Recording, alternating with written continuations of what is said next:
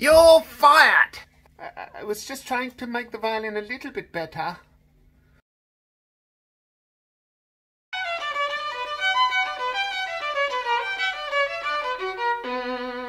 Hey guys! So the other day I bought that $100 violin and uh, you know at the time we were kind of thinking about different ways, different things I could do with the instrument but uh, I thought what's going to be more interesting is to really find out why it doesn't sound so good. So I, it's going to become a little guinea pig. Now I'm just going to play it again so you guys can can hear it. Um, it's out of tune.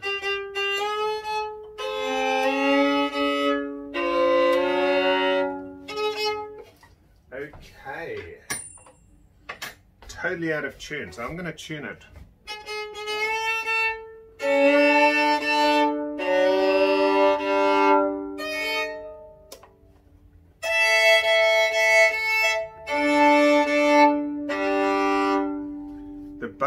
Using is one of my Fleuriel carbon fiber bows. They're really beautiful. They're timber veneer.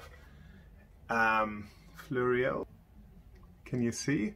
So the bow is worth $550. So it's worth more than the VSO, or about the same as the VSO with the service. But it's definitely much better value. I've actually seen bows that are $1,000 that don't play as well. Anyway, lads, I'm just going to play it again and I'll discuss the sound a little bit and then I'm going to get behind uh, what the structural things are that are holding up the instrument from sounding really good.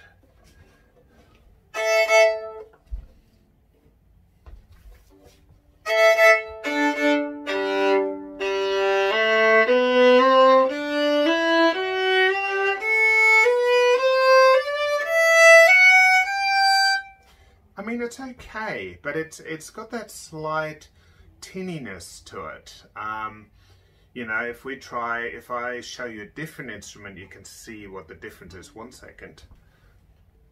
So let me play this violin again.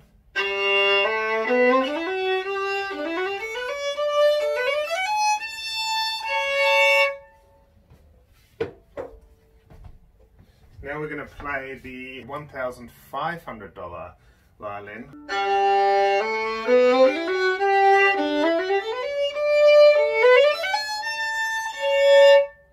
So this is the $1,500 Garibaldi Master violin. I, I, have other instruments in that price range, but uh, I'm just using it as an example. And uh, this is the VSO with a with a good quality setup, but you can still hear the quality of the sound is very different.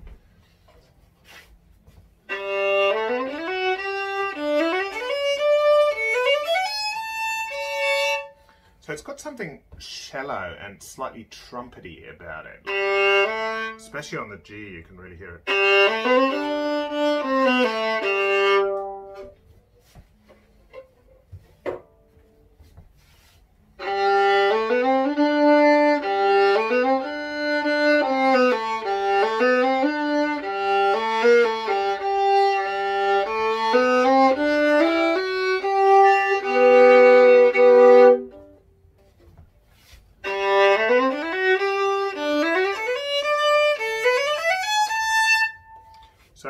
Difference. The really big difference is the is the brilliance in the sound and the kind of clarity and that kind of richness in the sound. This this is just a very basic sort of a sound.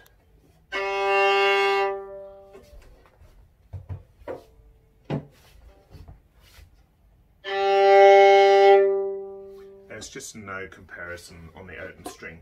Anyway, what I'm going to do is I'm going to actually open up the $100 violin and we're going to have a look inside and we're going to see the reason behind why it's not working so well. I'll also try to show an open violin that's of a higher level so that you can see the difference between um, a cheap violin and a better quality violin. So the hard part, you've seen me open up a violin before. Uh, the hard part is going to be, I'm, so normally I use natural hide glue on, uh, on instruments and that glue is kind of reversible but I'm quite certain that on these instruments they actually used used a PVA glue which is a much harder glue that is a lot more difficult to um, to open.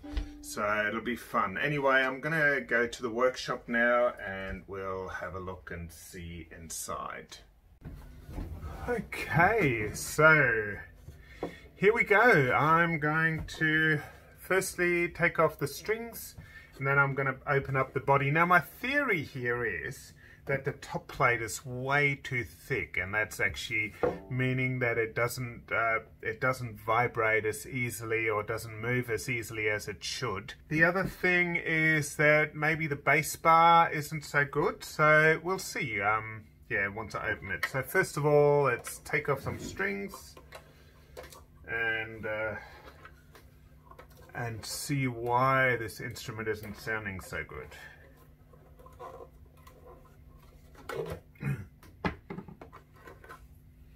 Bridge. Yeah.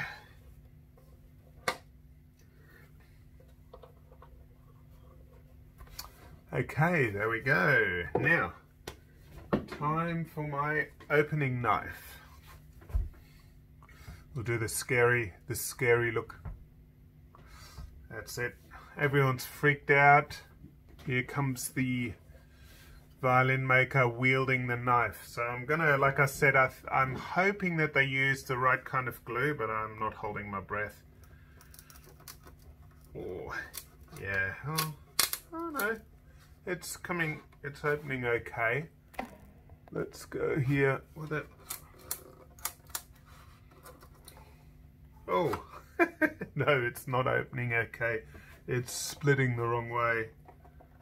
I have to be very careful here. Oh man. Well, at least, I mean, if I break it, it's not, not too expensive an instrument. Oh God. Okay. This is horrible. Look at look at the edges, like the edges here. Normally you have something called a scoop and then an edge, uh, which is something I'm I'm making on my new instrument right now. I'm I'm I've, I've finished this scoop, and then I'm going to work on the edge. But uh, this instrument has no scoop, like it's just like flat. So my guess is that they just used a rough, like a sander and just sanded it all. That's not how you make a violin. Wish me luck. I might, like I said, I might break something. Hopefully I won't. I do actually want to put it back together at the end and uh, see if I can get some improvements. Can I also say that I did actually, uh, I have seen um, $100 violins that do look a bit better. Uh, I did choose this one be because it looks particularly bad because I want to make sure that um, that you can see what can happen when you buy the wrong kind of instrument. So I actually picked one that looked a bit scary but where the sales letter that was on there, you know, made it look like it was actually a quality instrument. This is not splitting quite the way I wanted to. Okay. But, you know, I'll do my best. Is this timber actually joined? I don't know, I can't tell. It's actually coming apart quite okay. Maybe I shouldn't say anything. Uh, that might be my famous last words. At least I'm touching wood. Actually, I'm not. I'm touching synthetic varnish. Touch synthetic varnish. Oh my god, that is so scary. It's not even making a noise. Like normally it's supposed to make this cracking noise, but because the glue they used is so like elastic, it kind of it's just kind of not making a noise at all. Ooh.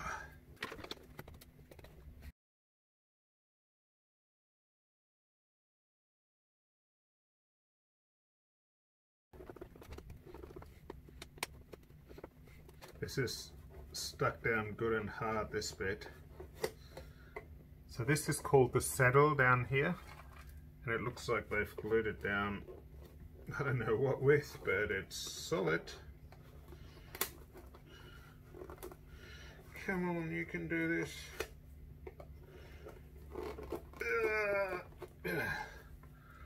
Alright. Okay, it's time to break out the hammer. Here we go. Now this could go badly wrong. Ah! Jeez, it's just not. Come on, you can do this. Come apart already. It's seriously not very. Oh, it came apart. Now I've just got to split it open around the neck. Another scary area.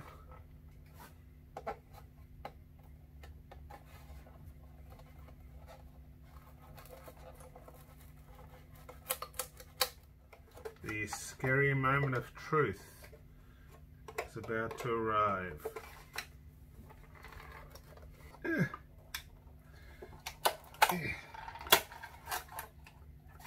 Oh. Oops. yeah, that wasn't supposed to happen. Okay. Check. Oh, it's plywood. Okay, look at that. It's a plywood top plate. I can't even fix it. Whoa, dudes, look at that. That is incredible. That's actually plywood and it's entirely different. So you can see the different layers, like one going this way, one going that way. The bass bar has like the worst shape in the world. It's not even shaped like a bass bar. Oh my god. Look at the amount of glue pasted onto the uh, top plate. That's unbelievable. I can just imagine how it would go down in the factory. You're fired!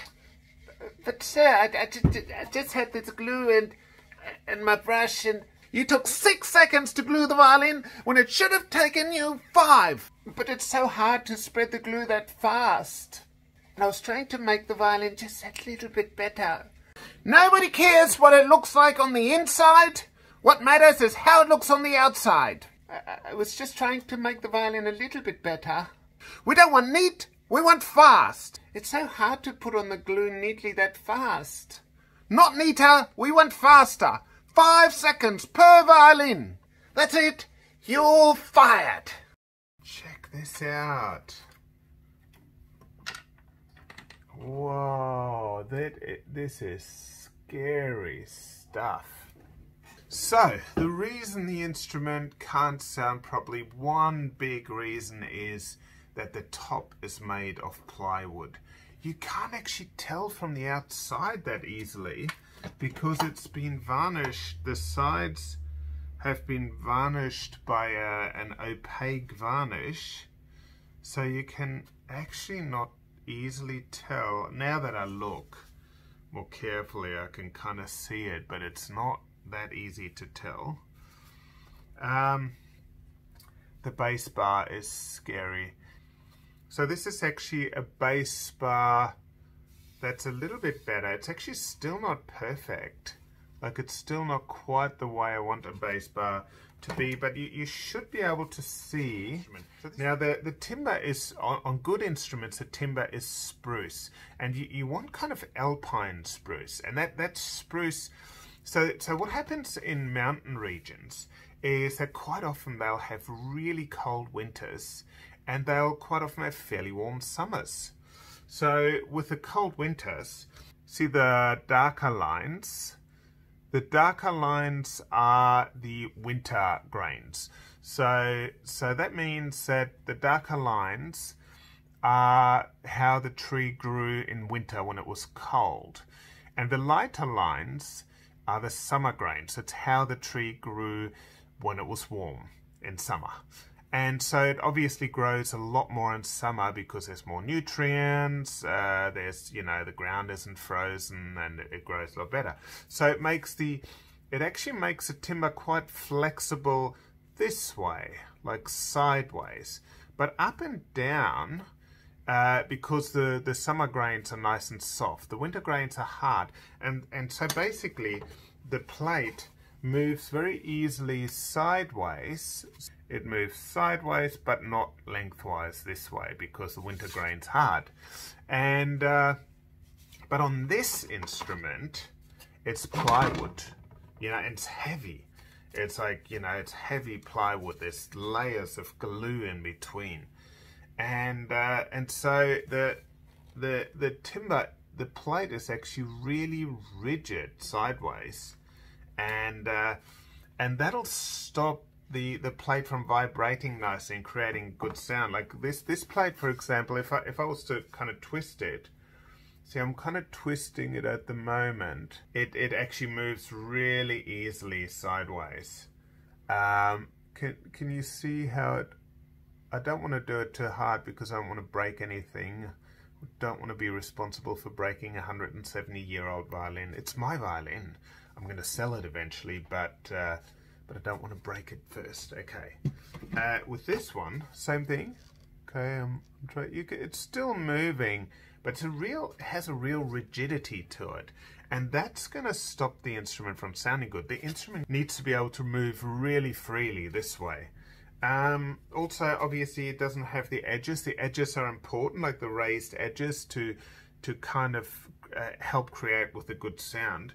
Uh, next, the the back of the instrument is supposed to be made of a different timber. And yes, on the outside, the timber is different, but it's only the outside layer. As soon as you get inside, it's the same kind of plywood. And the timber, instead of being carved by hand, has actually been pressed into place. And if you want to see how cheaply they made it, so this stuff here around the, the second layer here is called the lining. And the lining is supposed to be firstly like neatly inserted into here. It hasn't been done that. That hasn't been done. But even at the end here, it's just folded around. It is just pathetic. And then these bottom blocks are supposed to be neatly cut. And these ones are just like, like, they're just square blocks. It's horrible. Um, yes, this instrument is officially horrible. Uh, it's definitely a VSO. It's it, it's probably one of the worst I've seen. It's it's really bad. Um, let me show you inside an other instrument so you can kind of see a little bit. An old French violin. It's a Vuillaume copy. Uh, and you can see the workmanship inside is way way neater. You know, it's quite old again, like this is quite old. But take a look at the difference in the in the workmanship. This one is really roughly put together. And this one is quite a lot neater. It's still not perfect, but it's definitely a whole lot better. So yeah, so this this has been really, really poorly put together, and, and that's the kind of thing that can happen when you buy these VSOs. Um, the other issue I have too is that I, I think these plates, these plates might be too thick.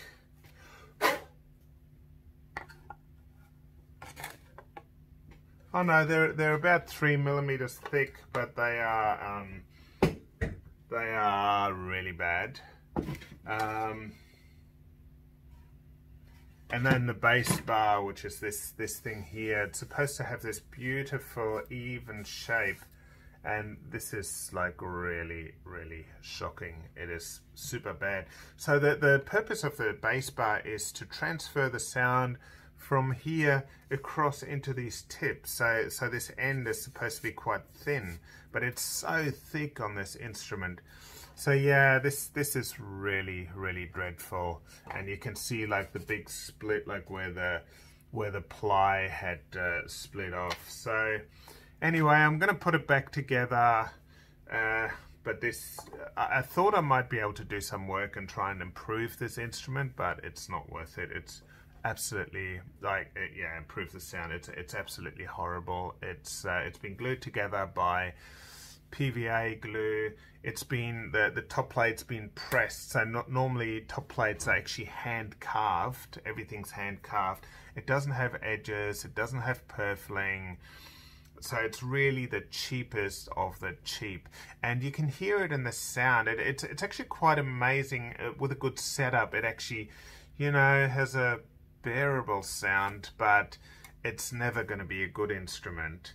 Um, so yeah, so don't don't do it. Like just be really careful when you buy instruments. Don't don't buy these super cheap instruments. Make sure you buy a violin by a reputable maker, at least one that kind of cares about you and that uh, that makes sure that uh, that the instrument that you get is is you know is going to work well for you. I mean, you know, it gets so frustrating if you know you're trying to make beautiful music and and you have this extreme frustration if if nothing works properly.